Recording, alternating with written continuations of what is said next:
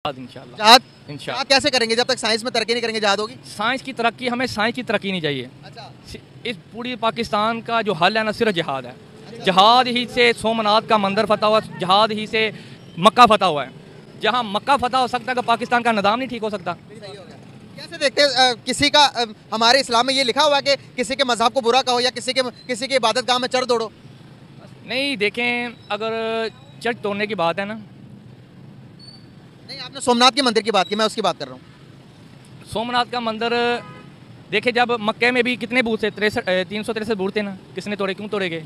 मक्के में मक्के में तोड़े गए ना तो सोमनाथ का मंदिर किधर आए मक्का एक पैसिफिक जगह थी जहाँ पर हज़रत इब्राहिम अलैहिस्सलाम ने हमारे लिए अल्लाह ताला के चलो जो भी अहकाम थे उसके मुताबिक उस जगह के अंदर क्या थे? बुत पड़े हुए थे। तो आप सल्लल्लाहु अलैहि वसल्लम ने कहा कि भाई ये हमारी जगह है यहाँ पर इसको बुतों को हटाकर साफ़ किया जाए। तो अब पाकिस्तान तो के पाकिस्तान किसकी जगह है?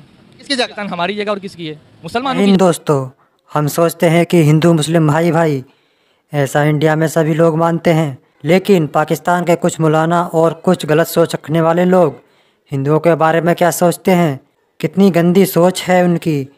ये आपने सुना। आपकी क्या राय है? कमेंट बॉक्स में ज़रूर बताएँ। जय हिंद।